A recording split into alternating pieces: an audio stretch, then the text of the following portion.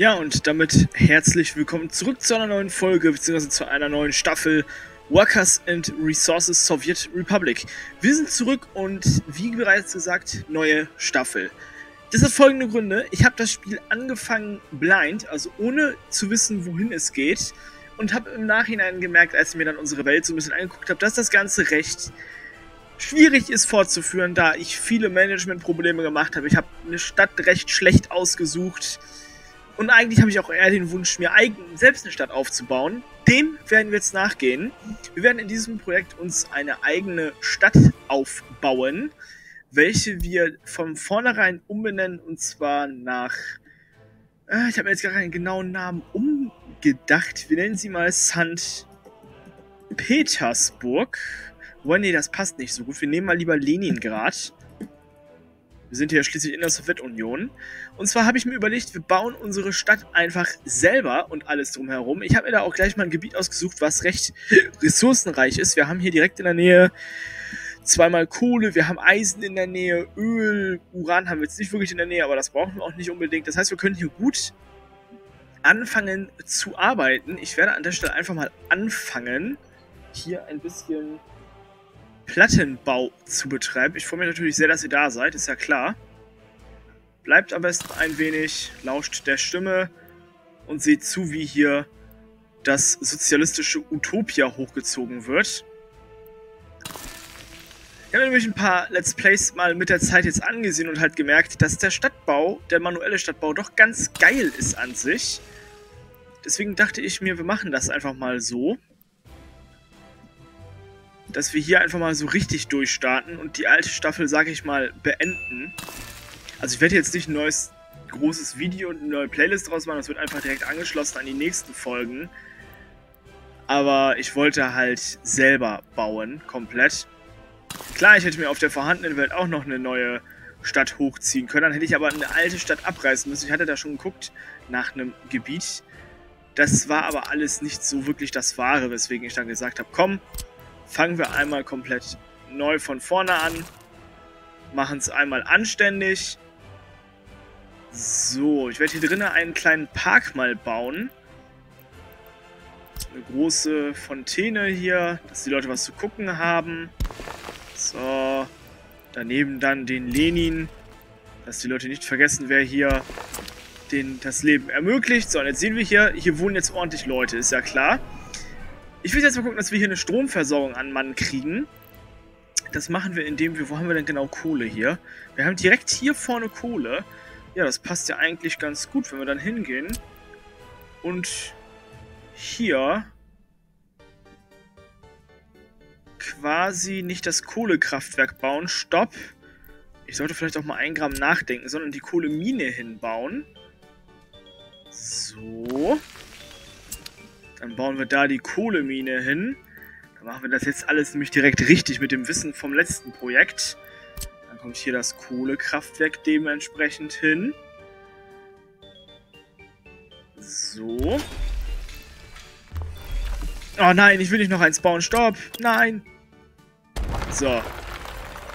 Ähm. Fangen wir schon dick an zu failen hier. Super. So, da eine Straße, die dann daran anschließt, dass wir hier alles schön mit Straßen verbunden haben. So. Dann haben wir schon mal Strom in Arbeit. Sehr gut. Dann können wir gucken, dass wir schon mal uns, Stichwort Arbeit, um Arbeit kümmern, indem wir ein paar, oder beziehungsweise einen Landwirtschaftsbetrieb hier bauen in der Nähe. Den baue ich jetzt mal nicht mitten in die Stadt.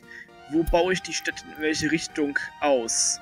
In die Richtung würde ich eigentlich ganz gerne ausbauen. Also nach unten. Also können wir ohne Probleme hier hinten irgendwo die Landwirtschaft hochziehen. Wie gesagt, ich habe mir hier ein bisschen Plan gemacht. Ich habe die Map auch schon, wie gesagt, einmal begutachtet. Mir das einmal alles angesehen. Und bin zu dem Entschluss gekommen, dass ich Plan habe. So, seht zu, dass wir hier schon mal Arbeit haben und gegebenenfalls auch Einkommen. Ich werde jetzt erstmal umstellen, dass wir mit Dollar bauen, denn Dollar werde ich hier nicht benutzen, zumindest zeitnah nicht. Da können wir uns die Rubel dann lieber sparen. So, die Straße dürfte jetzt eigentlich fertig sein, genau. Dann bauen wir hier auch gleich die Farm hin. Dementsprechend auch dann die Felder. So. So. Dann machen wir hier nochmal eine Straße lang.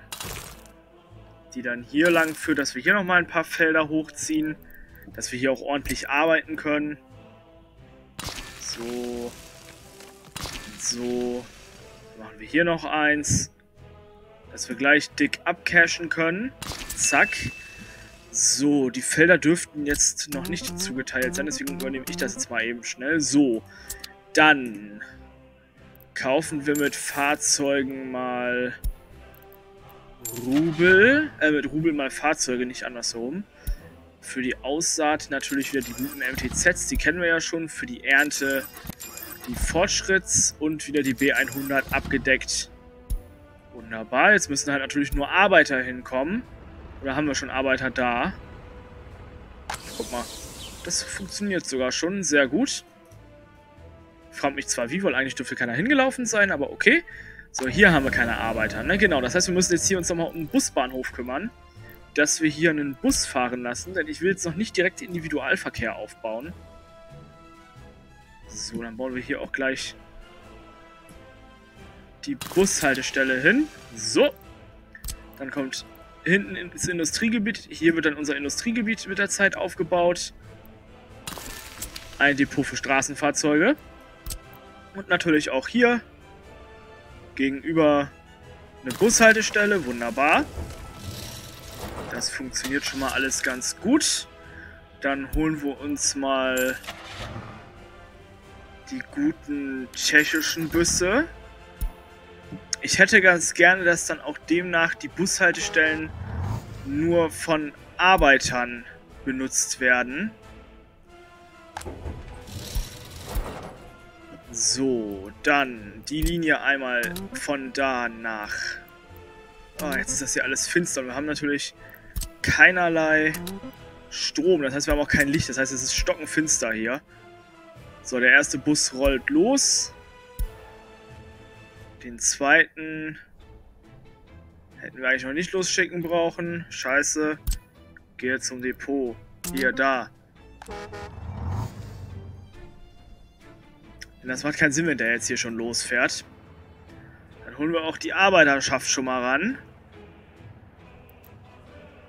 Wenn der hier angekommen ist, können wir den anderen losschicken. So, dann wird hier nämlich unsere neue Plattenbausiedlung aufgebaut. So, die Bauern sind schon fleißig auf den Feldern, das freut mich natürlich. Wir beschleunigen die Zeit auch mal ein bisschen.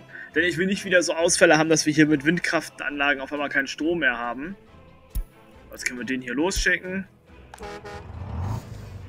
So, die warteten, wartenden Arbeiter stehen da schon Schlange. Natürlich lange nicht alle mitgenommen, das ist ja klar. Könnte auch glatt sogar noch einen dritten Bus fahren lassen. Das machen wir auch einfach mal. Die kosten uns ja nicht wirklich was. Ne, du fährst dann auch bitte von da oben hier runter. Zack. Wunderbar. Dann dürfte hier auch langsam aber sicher die Kohleproduktion laufen.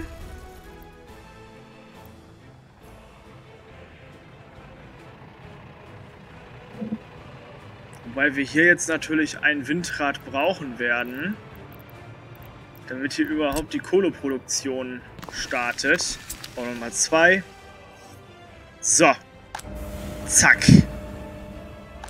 Und jetzt dürften hier eigentlich die Kohlen direkt da reingehen. Eigentlich. Aber wie erwartet tut's das nicht, weil ich wieder irgendeinen Fehler gemacht habe der mir jetzt auf den ersten Blick nicht auffällt. Verdammt. Wieso das mit den Förderbändern passt aber hier? Ach, verdammt, ich muss die Kohle ja noch in eine Kohle... Oh, teuer. Ich muss die Kohle ja noch in eine Kohleveredelung, sag ich mal, in die Kohleverarbeitung schicken. Das habe ich an dem Punkt natürlich total versäumt. Das ist mein Fehler gewesen. Da kann ich noch so lange warten. So, die Straße habe ich auch effizient verhauen. Moment. Ich meine, wir haben natürlich jetzt das, den Vorteil, dass wir hier mit Dollar arbeiten. Eine Sache, die ich auch gelernt habe. So. Auf die sei geschissen. So, jetzt haben wir hier nämlich die Kohleverarbeitung. Und die fördert dann rein theoretisch direkt rein in das Kohlekraftwerk, genau. So in etwa. Und das Kohlekraftwerk verarbeitet das Ganze dann zu Strom. Und der Strom geht dann natürlich rein in den guten Scheiß äh, in die Stadt. Damit wir halt in der Stadt Saft haben. Wir sind hier nicht in der Steinzeit, wir sind ja schließlich in den 80ern. In den 80ern sollte Strom eigentlich selbstverständlich sein. So, wenn wir von hier dann eine Straße nach dort bauen und die dann natürlich nicht da direkt anschließen können, wir können aber so machen, dann ist der Laufweg ein kleines bisschen kürzer.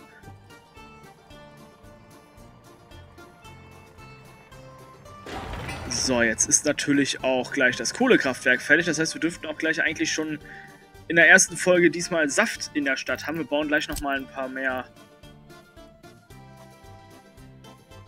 Wohnblöcke hier hin. Ja, das ist natürlich alles sehr, sehr trauriger Plattenbau hier, das ist ja klar. Wir spielen hier kein City Skylines, wir spielen hier fucking Workers and Resources. Deswegen kann man hier auch mal traurigen Plattenbau betreiben.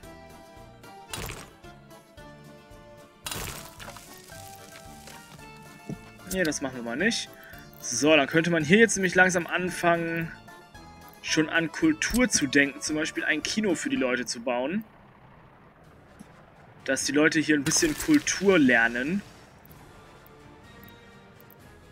Und dann könnte man da hinten nämlich auch jetzt langsam schon mal anfangen, hier in Richtung Industriegebiet eine Nahrungsmittelfabrik zu bauen. So zum Beispiel. So. Und die Nahrungsmittelfabrik sollte dann im Idealfall, natürlich im Idealfall, ob das dann was wird, ist was anderes, das Ganze gleich in ein Lagerhaus reinbringen. Mal eben gucken. Containers. Ne, Container ist nicht richtig, oder? Storages, Warenhaus. Genau, wenn wir hier dann so ein schickes Warenhaus hinbauen, könnte man ja rein theoretisch das Ganze schon mal zwischenlagern. Ihr merkt schon, ich habe mir hier ordentlich äh, Sachen zu angeguckt. Deswegen halt auch definitiv der Neustart. Der war auch notwendig. Aber dafür wird das hier jetzt richtig gut laufen, da bin ich mir ziemlich sicher. Da brauchen wir hier natürlich noch eine Busanbindung. Da machen wir auch Feierabend für heute. Wir wollen es ja nicht wieder übertreiben wir hier auch noch eine Buslinie dementsprechend. Zack. Dann lassen wir da auch einen Bus fahren und dann läuft das Ganze doch schon mal. Dann können wir auch langsam mit dem Verkauf anfangen. Zwei Busse bitte, die dann von hier unten hochfahren nach da oben. Let's go. So, du bitte das gleiche. Du fährst von da nach da. Sobald der da ist, fährst du los. Ja gut, dann hat das neue Projekt soweit schon gestartet. Ich freue mich sehr, dass das alles so gut funktioniert.